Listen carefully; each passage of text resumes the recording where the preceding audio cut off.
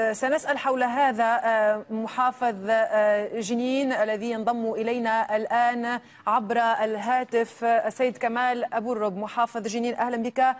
معنا يقول مراسلنا أن جيش الاحتلال الإسرائيلي يحاصر بلدية جنين وأن رئيس البلدية والموظفين داخل محاصرون داخل مقر البلدية. ما المعلومات التي وصلتكم من رئيس البلدية أو من الموظفين حول هذا الحصار؟ ما الذي يقوم به جيش الاحتلال؟ اولا رحم الله الشهداء شاف الله الجرحى فك كيد الاسرى اولا أنا موجود في قاعة بلديه جنين مع رئيس البلدية ومع اعضاء بعض أعضاء البلدية والموظفين اللي تمكنوا من الوصول للبلدية قبل حصارها. هناك عدد كبير من الآليات على الشارع الرئيسي شارع نابلس وأمام مقر الدفاع المدني يقومون الآن بإطلاق النار والقذائف على بيت محاصر بجنب بلدية جنين وبالتالي تقع بلدية جنين ضمن المنطقة العسكرية اللي حاليا يشن جيش الاحتلال الإسرائيلي الغاشم. عمليته بإطلاق النار وبإطلاق القنابل الصوتيه باتجاه هذا المنزل علما بان اننا حاليا نقوم بانتظار خمس أو أربعة من الوزراء اللي أوفدهم دولة رئيس الوزراء الدكتور محمد مصطفى إلى محافظة جنين واخترنا أن تكون مقر بلدية جنين لاستقبالهم على اعتبار أنها أكثر أمن وأمان من وسط البلد أو من مخيم جنين. ولكن بحصار البلدية والمنطقة المحيطة لا يوجد مكان آمن حتى اللحظة لا يوجد مكان آمن. حتى اللحظة في في مدينة جنين ولا في مخيم جنين. حاليا الوزراء الأربعة ينتظروا ينتظروا على مثلث الشهداء من أجل الإيعاد لهم إنهم بإمكانهم يتقدموا لعقد مؤتمر صحفي والوصول إلى مستشفى جنين الحكومي. ولكن لغاية هذه اللحظة جيش الاحتلال الإسرائيلي الغاشم يحاصر البلدية والمنطقة المحيطة بها. سيد أبو رب هل هناك اشتباكات بجانب مقر البلدية؟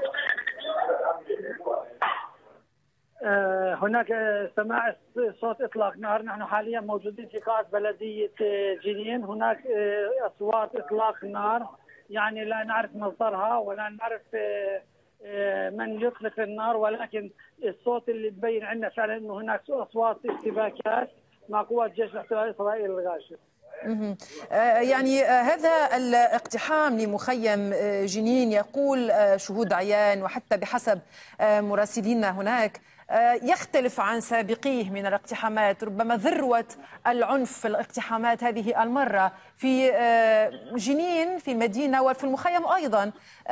ما تعليقكم على ذلك؟ ما الذي يفسر ذلك؟ يعني هذا الاقتحام رقم 12 اللي تتعرض له مدينة جنين ومخيم جنين بعد السابع من أكتوبر.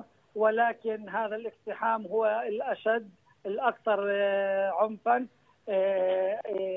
أكثر توسعة في الدمار الأكثر إيلاما للشعب الفلسطيني الأكثر ضرر للاقتصاد في مدينة جنين ومخيم جنين.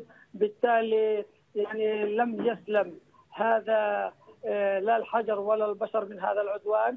وصل عدد الشهداء وهم أخبار إلى 21 شهيد خلال هذا الاجتياح الأخير بعد ما تم تعرض ثلاث سيارات في طوباس إلى قصف من قبل جيش الاحتلال الإسرائيلي وكان من ضمن الشهداء اثنين من مخيم جنين طيب هل حصار بلدية جنين حصار مقر البلدية سببه فقط برأيك أن هناك منزل محاصر بجانب البلدية أم هو استهداف لمقر رسمي يتبع لجنين وربما لمنع عقد هذا الاجتماع مع الوزراء الأربعة من السلطة الفلسطينية؟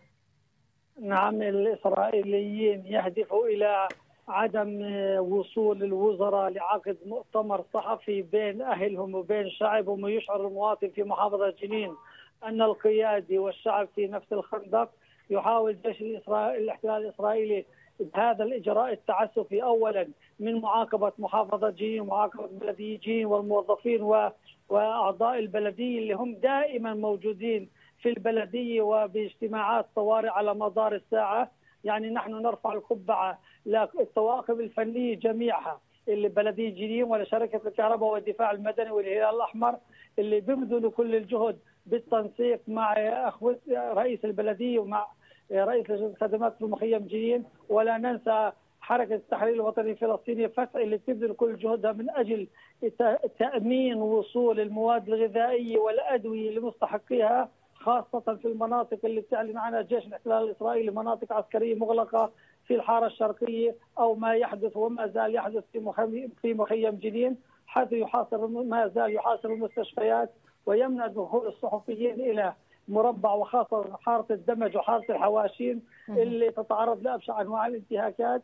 إيه، لا نعرف فعلا ما يحدث بالضبط. هناك اقتحامات للمنازل وعمل فتحات من بيت لبيت ومحاصرة الأهالي في أحد الغرف ومصادرة أجهزتهم الخلوية حتى لا يقوم أحد المواطنين بتوثيق جرائم الاحتلال في الوقت الذي يمنع فيه وصول سيارات الإسعاف والصحفيين للحالات المرضية أو توثيق هذه الجرائم. ليس لديكم حتى الآن بعد تسعة أيام من هذا الاقتحام لمخيم جنين تقييم ربما للوضع داخل المخيم؟ التقييم آه، اولا آه، هناك تقريبا 700 إلى 1000 عائلة أجبروا على النزوح من مخيم جنين ومن مدينة ومن الحارة الشرقية في مدينة جنين بالتالي يقدر عددهم إلى 4000 إلى 5000 نازح يجبروا تحت تهديد السلاح لأنه كل بيت بيدخلوه يحولوه إلى آه، مركز تحقيق ميداني ويعتبروا كل بيت آه، عبارة عن سكن عسكريه آه، بيمارسوا فيها أشد أنواع الإرهاب والبطش والتعذيب بحق أبنائنا وبناتنا. بالتالي ما يحدث داخل مدينة جي ومخيم جي في الوقت الحالي ومنع وصول المواد الغذائية وخاصة الحليب الأطفال والمياه والأدوية لكبار السن. عندنا مشكلة بحصار المستشفيات.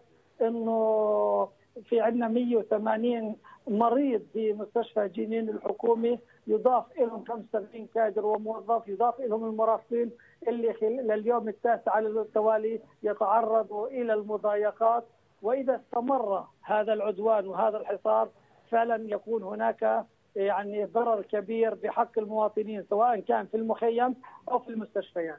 أشكرك جزيل الشكر السيد كمال أبو الرب محافظ جنين. كنت معنا من داخل مقر بلدية جنين المحاصر من قبل قوات جيش الاحتلال الإسرائيلي في هذه الأثناء. شكرا جزيلا.